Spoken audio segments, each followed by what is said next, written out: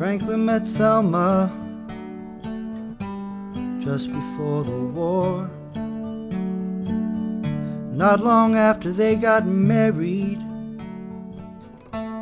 it was 44. Mostly he was frightened, he wanted something he could hold.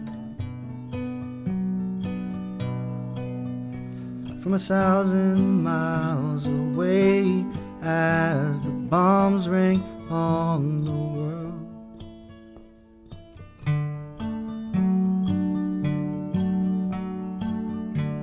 Franklin came home a changed man, purple heart with stripes. He never said much or nothing, he didn't talk about the fight. Minute he stepped off the plane, he broke down to see her there. He said, Thelma, please forgive me, but I haven't cried in years.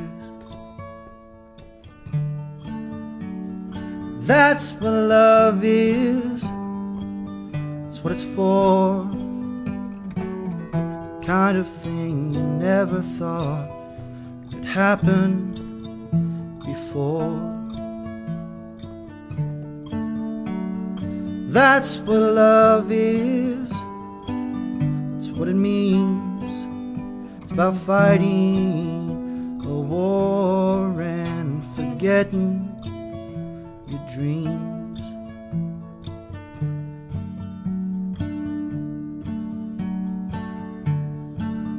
Franklin's passed on now. Thelma lies next to him. For 60 years through good and bad, God watched over them. Franklin said he was lucky to have Thelma for a wife. He said I died over there in Germany, and she brought me back to life. That's what love is. That's what it's for. The kind of thing you never thought could happen before. That's what love is. that's what it means.